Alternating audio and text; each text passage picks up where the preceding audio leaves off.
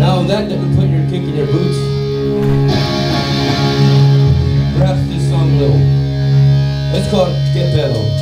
So